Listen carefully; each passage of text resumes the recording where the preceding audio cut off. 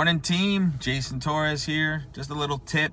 In sales, you can't control what the other person on the end of the conversation is going to say or do or think.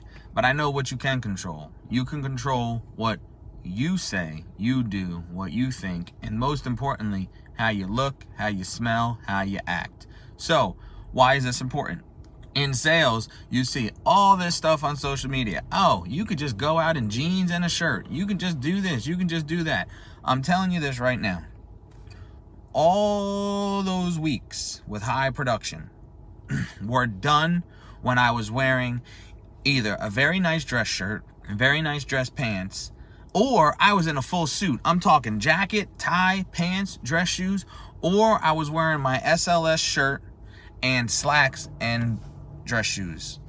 You can't go into people's houses dressed like you're going to HEB or going to your local grocery store. You have to dress the part of a business professional. Control what you can control. Why would you want to go into a house dressed like an HEB grocery shopper when you should be dressed the part of a financial service specialist? So, why do I say this?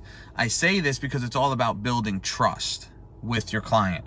And if you look like you belong at the grocery store shopping for food, or you look like you're the fry dropper at McDonald's, they're going to treat you like the fry dropper at McDonald's. So, I'm not saying there's nothing wrong with going into a house with jeans on. I got some really nice jeans.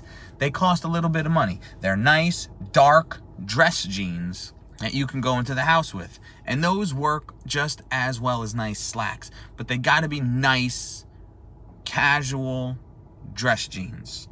Not these ones that got holes on the top because you think it's cool that you can see your pocket. Not the ones that are light, light, light, light, light blue. You got to make sure that you go into the house and you look the part. And when you get there, make sure that your hygiene is done correctly.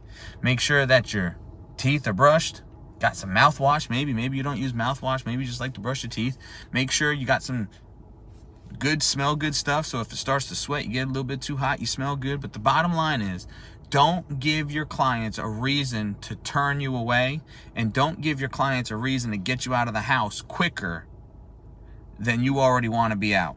Because if you come in and they find one thing that they don't like about you they're already thinking about how to get you out the house. So don't be that guy.